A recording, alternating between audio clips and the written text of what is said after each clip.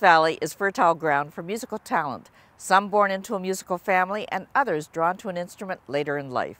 No Strings Attached is about people who have a passion for creating music, whether they're players, teachers, coaches, builders, or tuners. If you think that teaching doesn't influence kids, guitarist Alan Jossel begs to differ. He credits his grade three music teacher, Gladys Schmidt, with his decision to become a musician. She had so much enthusiasm and boundless energy that everybody loved learning to play the recorder and the ukulele.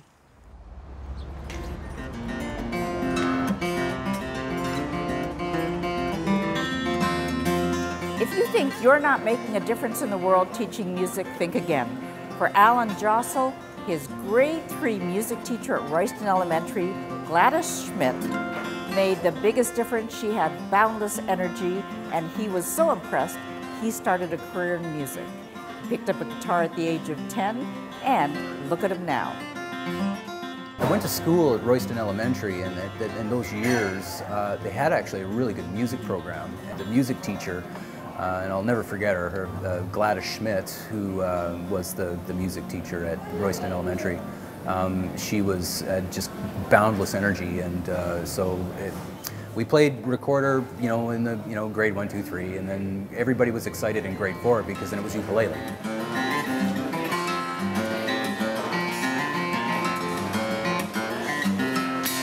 So Alan is giving back by also becoming a music teacher, and he is a full-time instructor at Long and McQuade. Some students are very serious in the sense of, um, uh, you know, want to go down an academic path, uh, and I can certainly prepare students for that. Um, and then uh, lots just there to see me for the, the, just the pleasure of music as well. For all aspiring musicians, Alan's advice is not to go home and practice, but to play and to love what you're doing. I have a, hopefully a fun spin on the time spent. I, I don't necessarily call it practicing. I, I, I, say to them, don't practice, go home and play. Play the guitar, spend time with the guitar. And, uh, and you know, certainly from whatever coaching that I can provide as, a, as an inspiration, then, uh, then you know, I think people find some pleasure in that.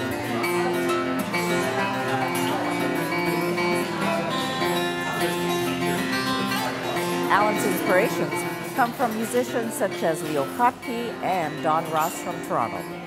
Lots of folks would describe this as sort of modern acoustic uh, uh, finger style playing, um, where trying to make one instrument sound like several. Um, so whether that be composing or uh, arrangements of familiar material.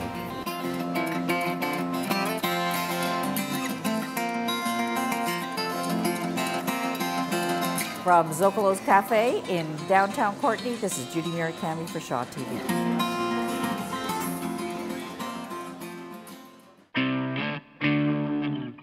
Music is a universal language, and for Doug Cox and Sam Hurry, it's been a bridge between the generations.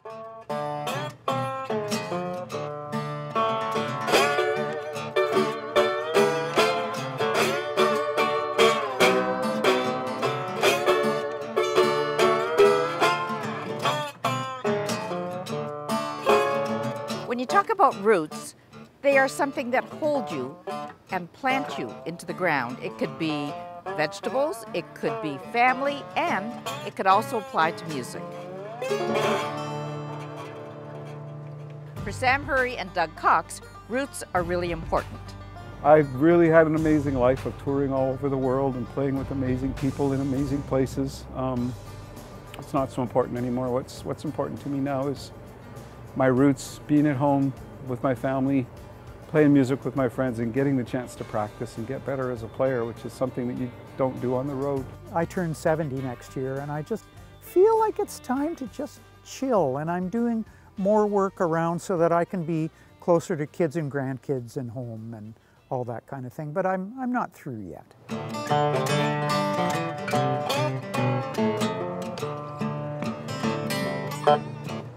To keep a balanced life, Doug sits in a swivel chair, has an office with two computers and guitars. So when he's not playing, he's also organizing Music Fest and the different performers in the Comox Valley. It's true. When I'm working at home, I have I have my desk set up with a swirly chair, and I have two computers. So I go from from my job with Music Fest to my job as a musician, and then I also have all my instruments lined up. So I spend all day just going around in a circle, making sure and trying to spend an equal amount of time on on all of those things. Doesn't always work that way, but it it at least forces me to practice a little bit every day, which is really the most important thing to me, but it's the thing that makes no money at all, practicing part. Coming from six generations of musicians, Sam Hurry comes by music naturally. His 92 year old father still plays the guitar and the fiddle, and Sam has children and grandchildren that also play musical instruments. Quite a few of my grandkids play as well. So, so for the Hurry family now, I think that's one, two, three, four, five generations of the family have been players. You know, God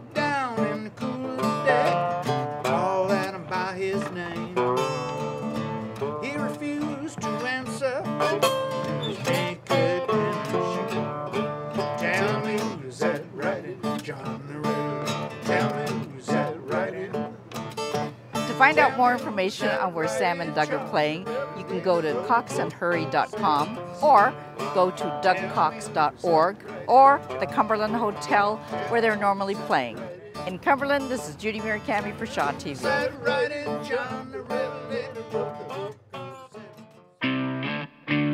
Geordie Robinson was born in the Comox Valley into a musical family and grew up playing cello. Not content with just playing an instrument, he auditioned for and won one of 14 top coveted spots at Western University to become a piano technician.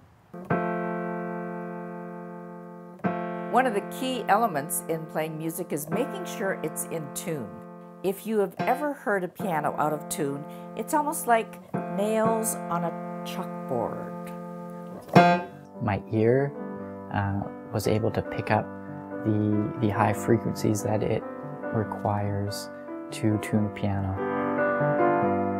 Geordie Robinson is a young man who actually is certified now in piano tuning, so he is a piano technician who lives in the Comox Valley. He also plays the cello. So you've got the cello, the piano, two string instruments that are very different, but he comes with it naturally with a love of music. And because Geordie has played cello all his life, he's able to hear the different sounds, which are actually sound waves, whether they're closer together, further apart, lower, higher. The strange thing about tuning is you don't necessarily listen to the fundamental notes that you're playing. What you're actually listening to to tune a piano are the high overtones, the frequencies, uh, the very, very high frequencies. And um, you're listening to how they're interacting with each other, which causes these uh, wave beating patterns. So when you play two notes, you hear way up high, wah, wah, wah, wah, wah, wah, wah, and it takes a special focus to be able to hear those beats.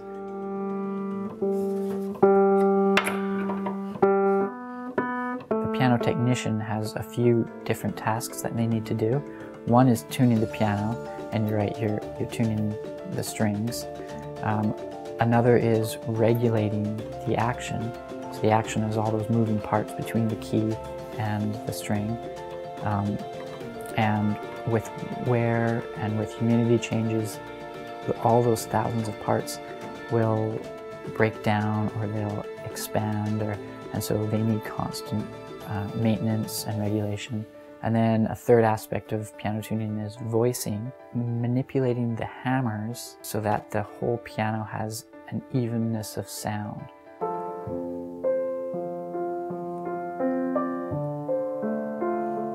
So, what does it take to play instruments well? Well, one of the things is passion. Having a passion for music where you want to play. So, Geordie keeps himself busy throughout the community I love the music. I love playing music. And I find the music, it, it keeps me active in the community. And we have a little duo called Soundbite, and we play at different events.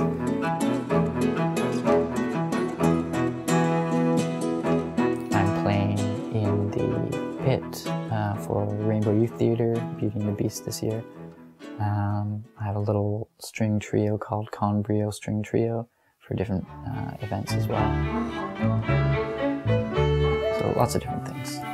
If you'd like to get in touch with Geordie, you'll find him on Facebook under Robinson's Piano Service, or if you would like to email him, jordypianotech at gmail.com. From the Comox Valley, this is Judi Murakami for Shaw TV. Passion and patience do not often go hand in hand, but luthier Al Hasakawa has found a way to make it work. He's combined the passion for guitars that he's had since the age of 15 with his love of woodworking and now works from home doing what he loves best. For all masters, patience is a requirement. Most of the scraping is right on the ebony and, it, and I'm just barely touching the other rest of it so it doesn't affect it. It's just like a musician, I guess. Like uh, you know, you got, the, you got this passion for something, and uh, you don't know why or anything. Like it just happens, and uh, you just can't stop. Al Hasakawa is a BC boy born and bred, more particularly from Vancouver Island. He loves guitars. He's been a musician all his life. From the age of 15, he was in a band, and now he is making guitars and helping others with their guitars and repairing them as well. Well, I've been playing the guitar since I was about 15 years old, you know. Never was a great player, but I loved it, and uh, I was always a woodworker. I just, I just love doing it, and I don't think about time or nothing. And I always felt whether I'm going to succeed as, uh, to make a living at it or not. I never even thought about that. I just kept on doing it. Al Hasakawa is a luthier, and his brand is Haas Guitars. As he said, Hasakawa was just too long to put on the bridge.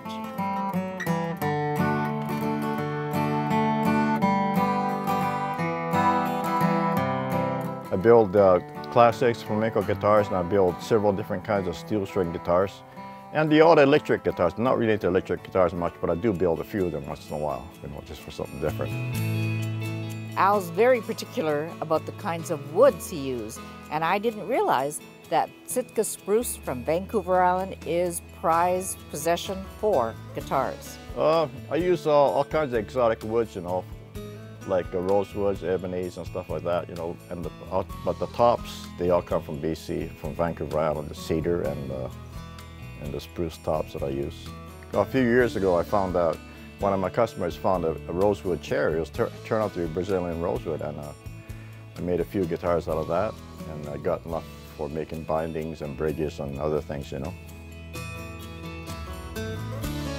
Well, it's, it's, the whole process when I'm building. Also, when it, when, the, when it's completed and the customer gets it, and uh, the look on their faces. if you'd like to get in touch with Al Hasakawa to either build you a guitar or to help fix it, you can call him at 250-334-2080. For Shaw TV, this is Judi Murakami.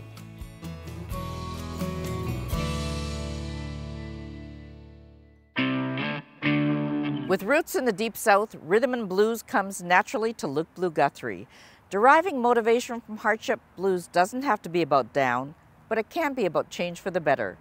Luke found that volunteering his time and talent helped him get a footing, stay connected with the community, and give back in this land of plenty.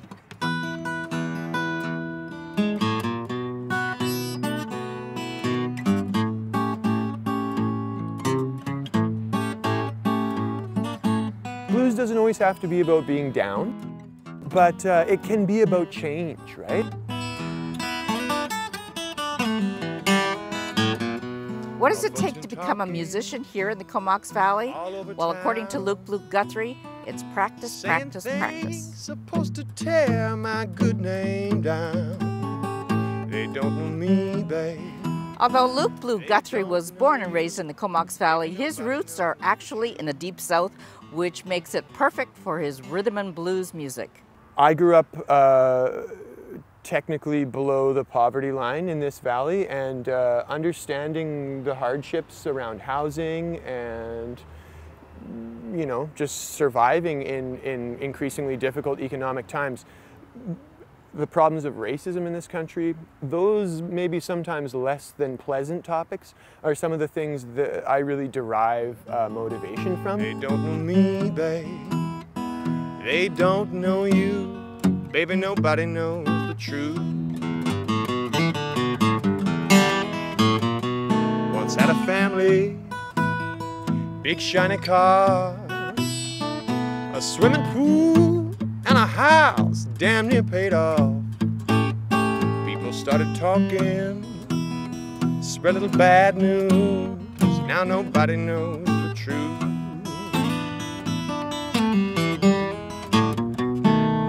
Have a strong desire, like I, I hope we all do, to, to change my life or the community or maybe even the world. And so I think I, I, I pull a lot of uh, energy from the situations that I see that, uh, you know, find people in less fortunate circumstances.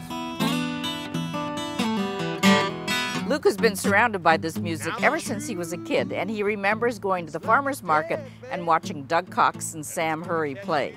This community has been very, very supportive of me and my family um, throughout my life in, in a number of different regards, not just in the arts. But, uh, you know, one of the ways that I kind of did find a bit of a footing here was, was coming up doing volunteer things. And uh, so it's, it's always been a way for me to stay connected with community and to give continue giving back what I'm still receiving, you know, in this land of plenty.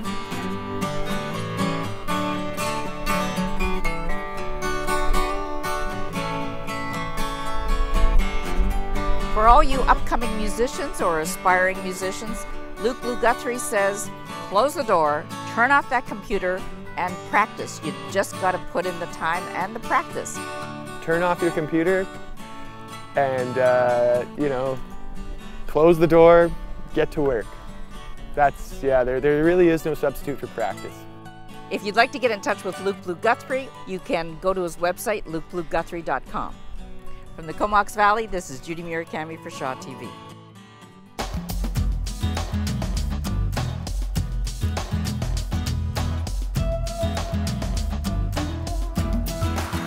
Playing the harp resonates and envelops the musicians in sound waves, bringing them full circle with the music. It's an ancient instrument rooted in many different cultures, and Roger Helfrich traveled 3,000 miles to buy a harp that was made 300 miles from where he grew up. When Roger plays the harp, he is surrounded and enveloped. The quality of the instrument is basically, it sits here, is basically resonating against the heart chakra. Um, and so you're completely enveloped in all of the sound waves of this instrument.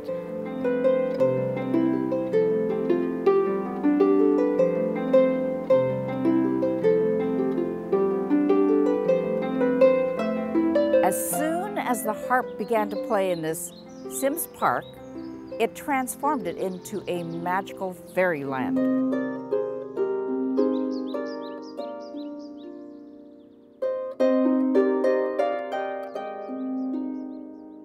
After growing up in Alberta, Roger Helfrich went 3,000 miles to Nova Scotia, bought a harp there that was made 300 miles from where he grew up. Everything comes full circle, as he's found out.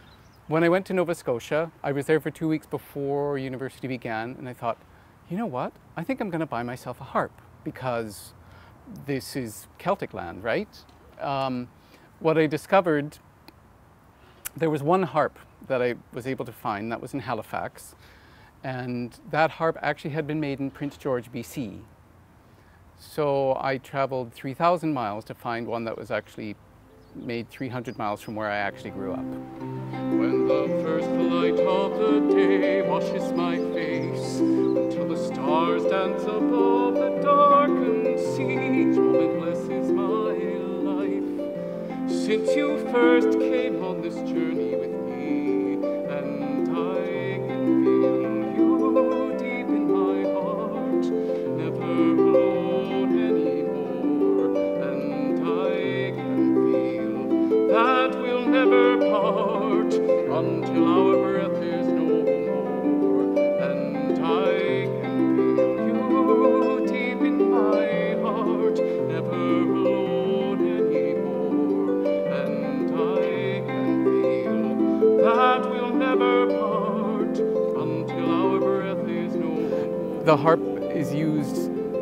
this ancient instrument that has been around for thousands of years.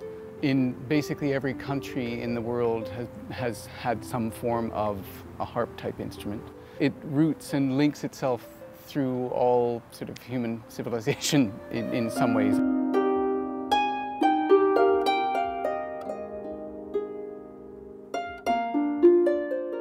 If you'd like to get in touch with Roger about lessons or buying his CDs or about anything, you can go to his website, rogerhelfrich.ca. His CDs are also available at the Comox Valley Art Gallery.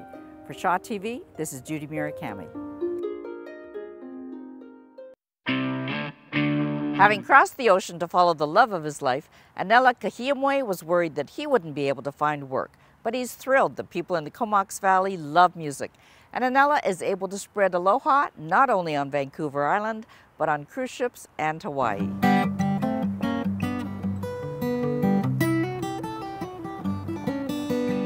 His name is very unusual and he's one of the very few Kahiamoes in the world. Anela Kahiamoe is a man of the islands, both the Vancouver Island and the Hawaiian Islands. My last name means to means to sleep, Kahiamoe. It was given by the king of Oahu, uh, you know, long time ago. And he named this, given our family this name because we were to watch him at night. And so he said to the people that this family is to watch me at night. Their name is Kahiamoe. So I have not met another Kahiamoe. There's not many Kahiamoes around. Anela followed his heart not only for music, but for the love of his life and has resided in the Comox Valley for the last five years with his wife and daughter. You're like the morning sun with its warm embrace. I see the beauty in your smiling face. That makes me love you more. I'm more and more each day, uh, just to be close to you. Aloha bauia Although he was worried that he was not going to find work here in the valley, he is busier than ever and he goes between Hawaii and the ocean and the Comox Valley. I thought I would have a hard time making music a career here in the valley, but since people really like music here. A lot of artsy people, and, and I, I've been getting a lot of work. I'm very happy. And I get to go home because a lot of times I got gigs in Hawaii too.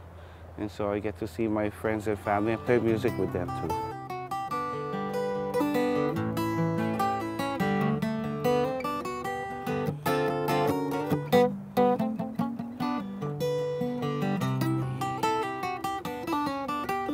I just gotta be keeping and uh, spreading the aloha, you know, and doing what I do. And I love playing music. So whether there's one person in the audience or thousand, whatever, I, I'm play the same way every time. And If you'd like to get in touch with Anela, he is on Facebook. From the Comox Valley, this is Judi Murakami for Shaw TV. We hope you've enjoyed No Strings Attached. The Comox Valley is rich in musical talent, and we hope to continue bringing you a lot of stories on all the musicians that are here in the Comox Valley. For Shaw TV, this is Judi Murakami.